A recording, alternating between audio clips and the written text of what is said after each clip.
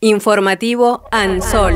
Construyendo información para una economía social, solidaria y popular. Solidaria y popular. Matriculación, más créditos y transformar el imaginario cooperativo.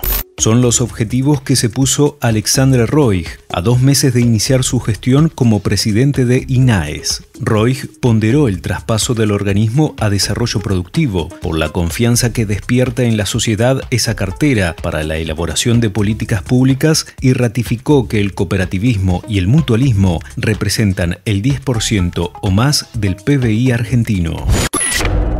Cerca de 7.000 organizaciones están inscriptas en ESAP, la plataforma digital desarrollada por el Instituto Movilizador de Fondos Cooperativos junto a la Universidad Nacional de Quilmes y otras organizaciones cumplió cinco años. A partir de un convenio con INAES, duplicó en menos de un mes las entidades registradas y alcanzó 6.588 en todo el territorio nacional. A partir de la app se geolocalizan producciones y servicios, se comparten agendas y actividades del sector.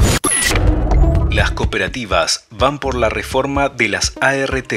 Las cooperativas piden que se debata en el Congreso una modificación de la ley sobre accidentes de trabajo para incluir a trabajadores y trabajadoras autogestionados en el régimen de las ART. Diversos especialistas advierten que la accidentalidad en el cooperativismo es mayor que la media y reclaman un aporte estatal para enfrentar los costos de los seguros.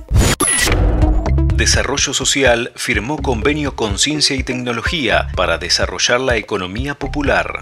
Los ministros Daniel Arroyo y Roberto Salvareza sellaron un acuerdo que buscará generar impacto tecnológico en proyectos de impacto social y territorial. Buscarán mejorar los bienes de capital e incorporar tecnología en los procesos de trabajo en cinco ramas de la economía popular, producción de alimentos, agricultura familiar, reciclado, textil y construcción.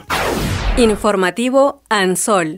Agencia de Noticias Solidarias. Para más información, ingresa en www.ansol.com.ar.